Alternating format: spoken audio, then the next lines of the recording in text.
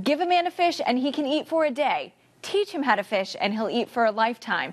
That's how this week's Pay It Forward recipient lives, but she has her own personal twist on the proverb. Mildred met Deborah Tedder 35 years ago. And I saw something in her that was very special.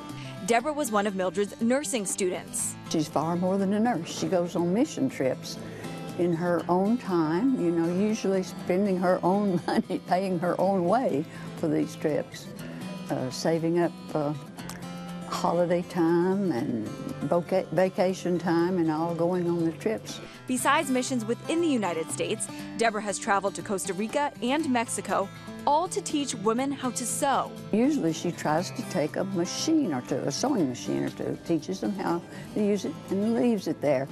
All right, so let's go and pay it forward to Deborah. Okay. Count out the cash. Very good. One, two, three, four, $500. She'll love that, I'm sure. Let's go. Okay. Hi, honey. How's Deborah? I'm so glad to see you, darling. Oh, how are you? I can't believe I'm getting to see you. On behalf of News Channel 9 and the McMahan Law Firm, we've come to pay it forward to you to the tune of $500 for all that you've done for, for missionary work.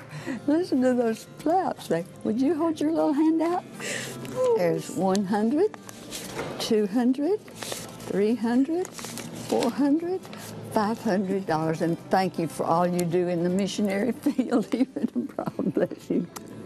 Aren't we mean? I'm speechless. I'm surprised about that.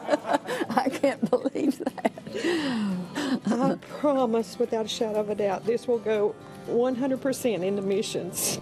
That's because Deborah's already planning more missions, living by a well known proverb with her own stitch. If you give a man a fish for today, you feed him for today.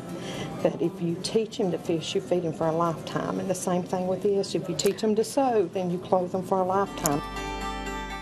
Deborah is setting up her next mission trip right now to go to Haiti in July. She's always looking for used sewing machines to leave for the women she teaches. If you're interested in donating, contact her church, Spring Place Baptist Church in Chatsworth, Georgia. All the information is under the Pay It Forward tab at newschannel9.com. For Pay It Forward, Lauren St. Germain, News Channel 9.